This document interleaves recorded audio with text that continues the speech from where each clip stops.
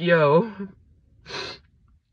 So, um, I did some math, um, and looking at my Spotify bills, um,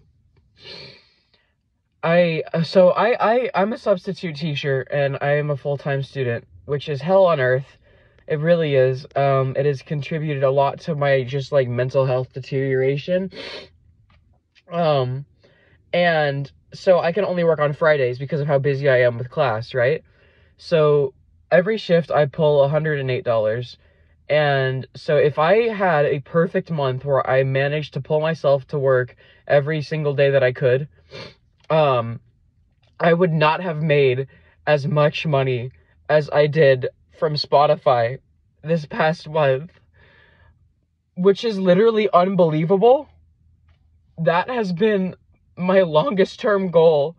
That that has been like my like like like my like I, I don't like I don't want to be famous. Like I don't care if I'm famous. I just want to be able to like support myself without like killing myself through jobs that I fucking hate. I've like I've worked so many fucking jobs that I genuinely just like like mentally degrade me. Um Oh my god, and like I made enough money this month on Spotify that's more than my job would have done. And I am like at the rate of growth I've seen the past few months, I might be able to pay my own rent. Like my whole rent is the thing. Like I have to like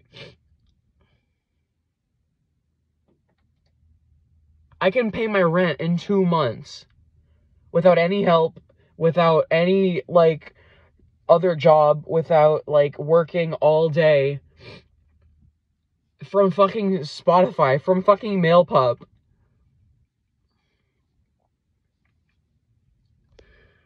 So thank you. Really, thank you.